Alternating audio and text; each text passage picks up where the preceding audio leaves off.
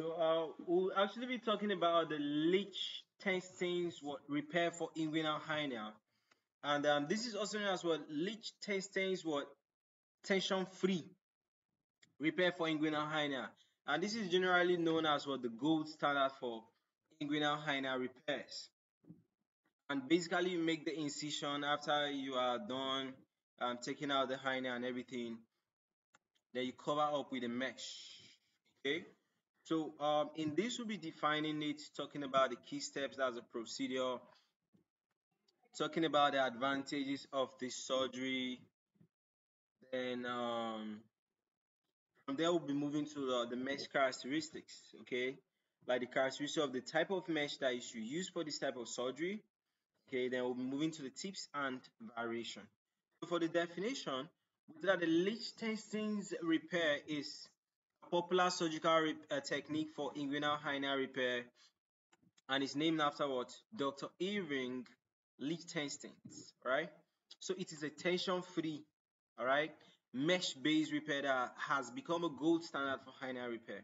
So you are basically using this um, mesh. Now, when you use this mesh, this mesh is so strong and it will hold everything back. Okay. What are the key steps? Can do an incision that is about 6 to 8 centimeters is made in the inguinal canal. Dissection, the hernia sac is identified and dissected from surrounding tissues. Mesh placement now. A synthetic mesh is placed over the hernia defect and is overlapping the edges by what? 2 to 3 centimeters, right? Fixation. Uh, the mesh is secured with your sutures or staples to the surrounding tissues. Alright, so you can see this. Alright, you see all the sutures at the edge. Okay, so you suture it, and it's usually what non-absorbable. Non-absorbable means what? Uh, you don't want the sutures to disappear later on. You want it to hold it in place forever. And even the mesh, even the mesh too is non-absorbable. Okay, so um okay closure now the incision that's after you put the mesh now you close the layers all right what are the advantages uh, tension free repairs reduces what? Reoccurrence risk. There's minimal invasion with smaller incision. There's quick recovery with less post-operative pain all right so you have less complications after the operation. There's a low complication rate and is suitable for most inguinal hernia types all right so you can see it and um, okay yeah. You guys can just visualize the mesh. So what are the mesh characteristics? The mesh is in, uh, mesh could be is yeah the most important one is synthetic one all right made up of polypropylene or polyester all right?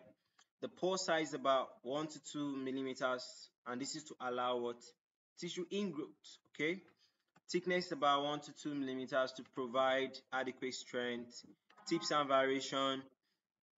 Um, use of a mesh block for smaller hernias reinforcement with additional sutures or staples. Uh, laparoscopic or robotic assisted what? Lichtenstein what? Repair. That's basically tips and variations like the different types of methods you could use under this what? Lichtenstein's what? Tension free they could also do a bilateral hernia repair in a single procedure. Both okay, yeah, yeah. repair both sides at the same time.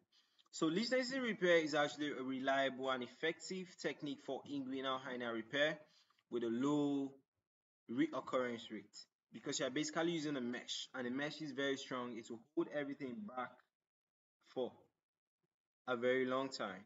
Okay, so that's it about the Lichtenstein's what tension free repair inguinal hernia, right?